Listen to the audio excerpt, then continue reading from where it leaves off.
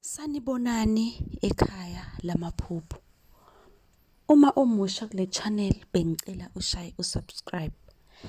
Le video uma uyibona ku TikTok sifollowa bese uyangi-inbox ucela inamba yaka WhatsApp ukuze usibuza njalo ekuseni amaphupho banawo. Baningi ababuzile kuma comment ngizolokhu ngithatha nje kanye ngizochaza ke la ku YouTube. Nami ukuthi ubuzile ama comment phuthuma ku YouTube ngenze ividiyo yakhe sikhona. Namuhla sizokhuluma ngokuphupha igundane. Igundane elimhlophe lichaza inhlahla okungaba inhlahla yemali, umcebo, ibhizinisi. Yingakho phela kunamagundane ekuthiwa alanda imali. Amagundane kahle kahle ayahambisana nemali.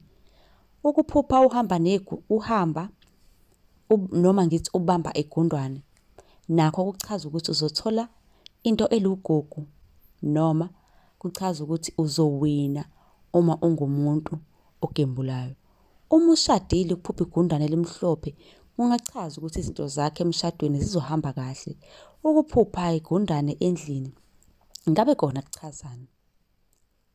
Lokho kungachaza ke futhi ukuthi kunezinkinga ekhaya. Ukuphupha igundane elimnyama kuchaza amaxoki nabantu abayizitha kuwena. Igundane libizwa igundane libiza ngempuku, igundane lasendle elinemigqa emhlophe emhlane libizwe ngembiba. Igundane endlini kungenzeka-ke lingabi related to izinto ezi-spiritual.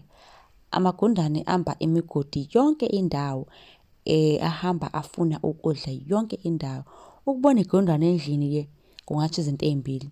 Kungenzeka ukuthi igundane-ke lizochaza ukuthi kunesimo esingekho sihle esizokwenzeka ekhaya.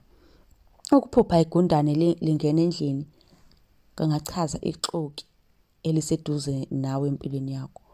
Ukuphupha igundane elikhulu amagundane amaningi kungasho kungase kuchaze ukukhungathwa izinkinga empilweni yakho. Amagundane amancane amaningi angachaza ukwanda kwezinkinga empilweni yakho. Mlaleli nawe-ke ungabuza kwi-comment section ukuze ngizokwenzela eyakho ividiyo nisale kahle.